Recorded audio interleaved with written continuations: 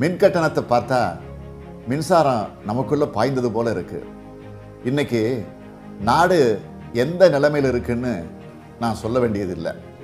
உங்கள் எல்லோருக்கும் நல்லா தெரியும். ஆனால் முதலமைச்சருக்கும் அமைச்சர்களுக்கு தான் தெரியல. மக்களை வதைக்குது. மின்சாரம் என்பது மக்களது மிக மிக அவசிய தேவை. மக்களின் தேவைகளை பூர்த்தி செய்யத்தான் மின்சார வாரியமே இயங்குது. நுகர்வோருக்கு நியாயமான மின் கட்டணத்தை வழங்குவது மிக முக்கியம். அப்படின்னு மின்சார சட்டத்திலேயே இருக்குது இப்போ அரசாங்கம் விதிச்சிருக்கிற கட்டணம் நியாயமான கட்டணம் அல்ல. அநியாயமான கட்டணம். சரியாக சொல்லணும்னா இந்த மாதிரியான பேரழிவு காலத்தில் தான் மக்களுக்கு தங்களால் முடிந்த சலுகையாக கட்டண சலுகையை அரசாங்கம் கொடுக்கணும். ஆனால் கட்டணத்தை அதிகப்படுத்துகிறாங்க கேரள மாநிலத்தில் கட்டண சலுகை கொடுத்துருக்குறாங்க. மகாராஷ்டிராவில் கட்டண சலுகை கொடுத்துருக்குறாங்க.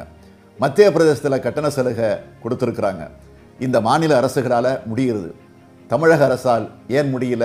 தமிழ்நாடு மின்சார வாரியம் ஏற்கனவே கடந்த பல ஆண்டுகளாக சந்தித்த இழப்பையும் கடந்த காலங்களில் ஏற்பட்ட அந்த நிர்வாக சீர்கேட்டையும் சரி செய்து குறிப்பாக சம்பள உயர்வுகள் அதேபோல் நிலக்கரியினுடைய அந்த விலை உயர்வு அதேபோல் பல்வேறு அந்த வட்டி விகிதங்கள் உயர்வு இது போன்ற இதை கணக்கிலே எடுத்துக்கொண்டு இப்பொழுது மாற்றம் செய்யப்பட்டிருக்கிறதே. தயவுசெய்து தமிழகத்தினுடைய ஒட்டுமொத்த பொதுமக்களும் தொழில் முனைவோர்களும் இந்த மின் கட்டணத்தை ஏற்றுக்கொண்டு தமிழக அரசிற்கும் மின்சார வாரியத்திற்கும் முழு ஒத்துழைப்பை கொடுக்க வேண்டும் என்று